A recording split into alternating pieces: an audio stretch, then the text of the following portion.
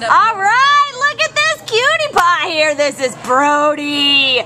Brody has a lot of personality. He is awesome. His ID number is A51-02019. He is an applehead chihuahua, and he is white. He's a little dirty out here at the shelter, but he is gorgeous. He is about six years old, and he came in as a stray on August 17th from Baldwin Park. He weighs 10 little mighty pounds, and he is just super fun, energy, very affectionate. See his tail wagging back there and he's kissy and just wants to hug.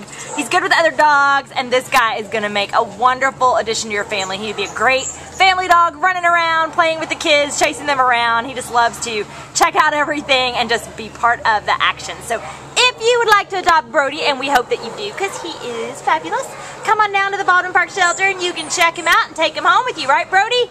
He's like, let's go have some fun. Bye-bye, Brody. Look, people are coming by and he's just wagging his tail, looking at all the people. Oh, yeah.